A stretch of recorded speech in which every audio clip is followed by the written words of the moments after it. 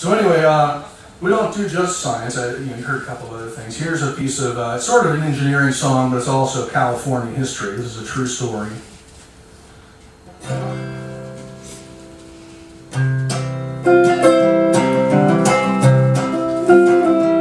It was 1928 when the engineer Mulholland said the St. Francis Dam was good to go.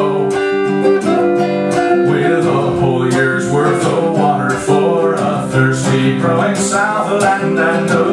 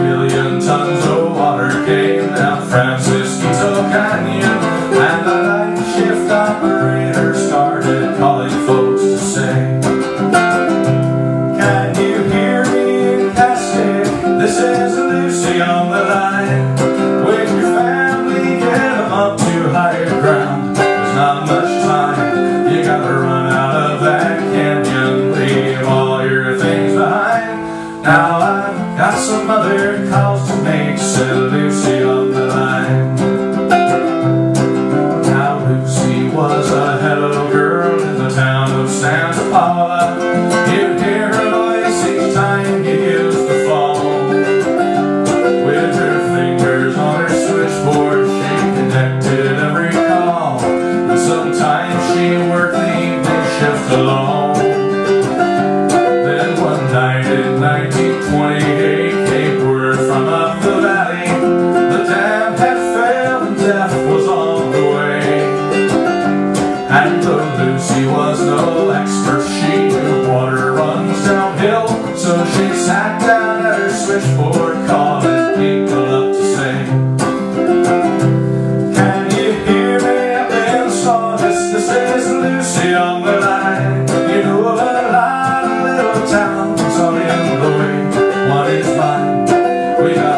got in our valley and we're running out of time. Go get the children now, there said Lucy on the line.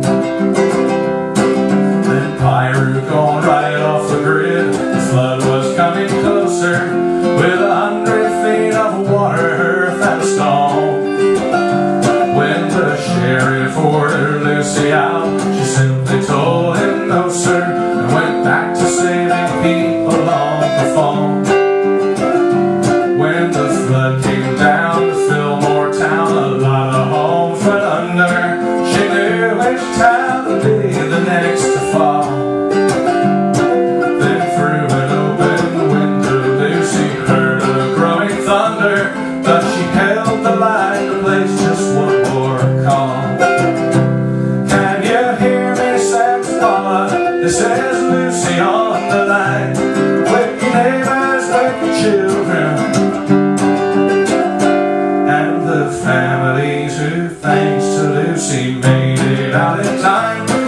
Spread the word and thank the Lord for Lucy on the line.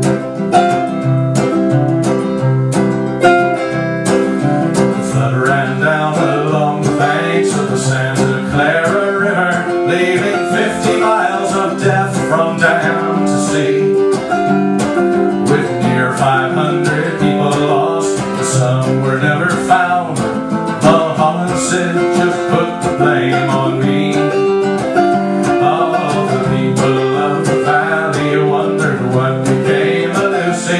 but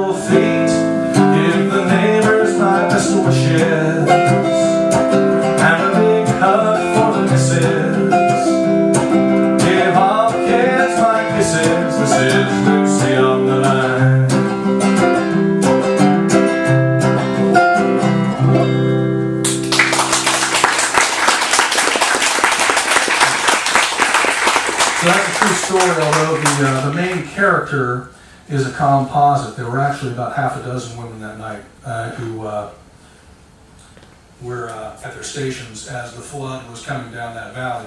And of course, you know, they didn't have LIDAR or satellite view or anything like that in 1928. The only way they were able to track the progress of the flood was town by town was just disappearing off the grid.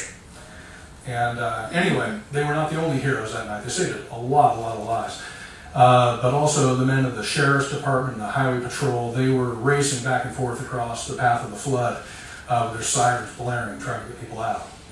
And there is a statue in the middle of uh, Santa Paula, which is a little town in northern Los Angeles County. And most people drive by without knowing what it is. It's a statue of two guys on motorcycles with the wheels turned toward the river. And uh, that was a gift from Grateful Public.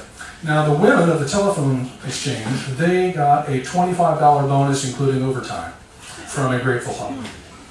But now they got a song, too, so.